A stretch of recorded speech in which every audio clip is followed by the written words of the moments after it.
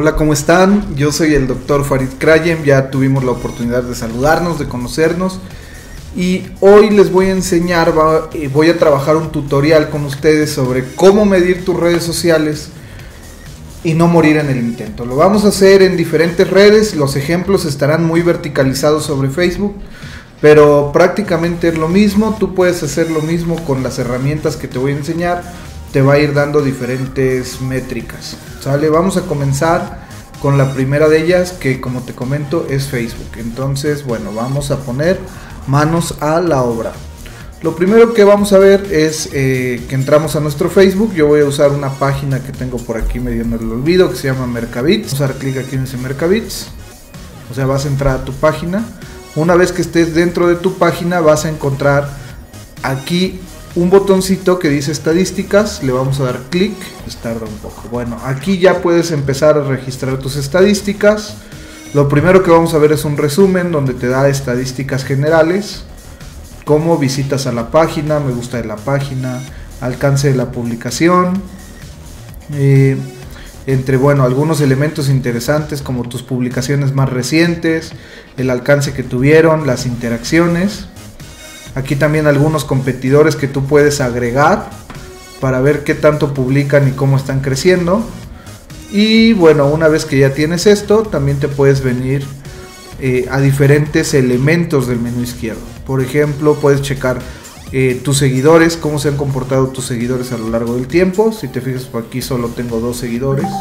Voy a abrir aquí el margen de tiempo y solo tengo dos seguidores. Luego aquí un total de seguidores de la página 273, cuando ha subido, ha bajado, ha vuelto a subir. Seguro que tus gráficas serán diferentes, pero tú aquí podrás darte cuenta de eso. También puedes ver tus me gusta, cuántas personas les gustan tus contenidos o cuántos me gustas de la página tienes. El alcance que has tenido en número de personas, si te fijas aquí, incluso puedes ver alcance orgánico y alcance pagado qué tanto has tenido alcance de una publicación orgánica o pagada. En este caso, pues no hay ninguna publicación pagada, todo el alcance es orgánico. Si tuvieras contenido pagado, aquí también lo podrías ver. ¿Sale? Eh, ¿Qué otra cosa? Pues bueno, las publicaciones, importante que tú hagas como tu propia auditoría de tus publicaciones. Aquí te dice el horario en el que están más activos tus usuarios. Ojo, es muy importante que a este espacio particularmente le prestes atención porque es un buen insight. Tú aquí puedes saber en qué horarios tus usuarios están normalmente activos. Un buen horario para publicar en esta página sería las 20 horas, desde las 17 hasta las 20 horas. Ojo que no en todas las páginas es igual, no en todas las páginas es igual, ¿sale? Entonces es importante que vayas cuidando eh, eso, esa parte. Y aquí te va a decir las publicaciones que tienes, con el alcance orgánico o pagado, dependiendo si estás haciendo pagado o no, la interacción que tienes y pues bueno, listo. Esto es un poquito sobre cómo funciona la herramienta de estadísticas dentro, dentro del mismo Facebook. Te voy a enseñar otra herramienta muy valiosa que es HotSuite. Que esta eh, HotSuite lo que te va a hacer es que te va a permitir incluso calendarizar. Tú abres HotSuite, inicia sesión, eh, te vas a tu panel de control, te va a pedir que agregues un par de redes sociales. Y HotSuite, ¿cómo funciona? HotSuite tiene columnas. En las columnas tú puedes descubrir nuevos contenidos si, si agregas una cuenta de Twitter o si agregas una cuenta de, de Instagram porque mide los hashtags. En este caso, como te decía, estamos ejemplificando Facebook. Por lo que no vamos a ver mucho esta, esta parte, pero sí, sí vemos aquí, por ejemplo, yo aquí puedo ver mi muro. Estas columnas justamente te sirven para poder ver el muro o incluso si quieres ver, eh, tú puedes agregar una columna donde pongas la línea del tiempo, las menciones, qué no se ha publicado, tus publicaciones, los mensajes. Por ejemplo, aquí agregué una columna con mensajes, pero pues esta página, como te decía, está un poco abandonada por lo tanto pues no tiene eh, contenidos. Tú puedes eliminar las columnas muy fácilmente y aquí tener un control de tus mensajes, de tus redes sociales en general. Entonces es una buena herramienta si solo trabajas con una marca. Eh, es una buena herramienta, si trabajas más de una marca es una muy buena herramienta, pero pues ya vas a tener que pagar. Lo mismo en la siguiente herramienta que vamos a ver. Em, ¿Qué más te puedo enseñar aquí? Aquí puedes crear, por ejemplo, los analytics, que es muy importante. Eh, muchas de las cosas que queremos hacer es medir, pero pues bueno, HotSuite ya no te deja, como te das cuenta ya en los planes gratuitos, ya no te deja eh, tener las analíticas, pero no te preocupes, yo te recomiendo que uses HotSuite particularmente para llevar este calendario de publicaciones que es muy amigable. Supongamos que yo quiero publicar algo para el día viernes, entonces le pongo aquí que voy a hacer una publicación eh, bueno, aquí la marqué a la una de la mañana. Yo creo que a la una de la mañana nadie la va a ver. ¿no? La vamos a poner a las 12 del día. Le voy a poner crear una publicación. Me pregunta dónde la quiero publicar. Yo aquí le pongo que en Mercabits de Facebook. Si tuvieras más cuentas, tú aquí podrías agregar tus cuentas. Aquí pones el cuerpo de la publicación.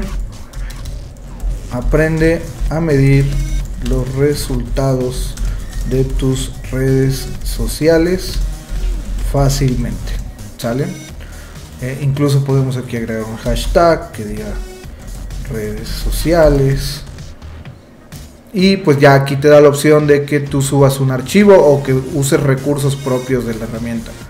En este caso vamos a usar un archivo. Yo voy a usar esta imagen simplemente como, como demo. Y aquí pues esta sería ya mi publicación. Lo único que me resta hacer es darle programar y la, publicación queda programada para el día viernes a las 12 del día. Y entonces tú aquí fácilmente con este calendario te puedes dar cuenta cómo están los posteos de tus redes sociales. Pues te digo, muy bueno, te lo recomiendo mucho.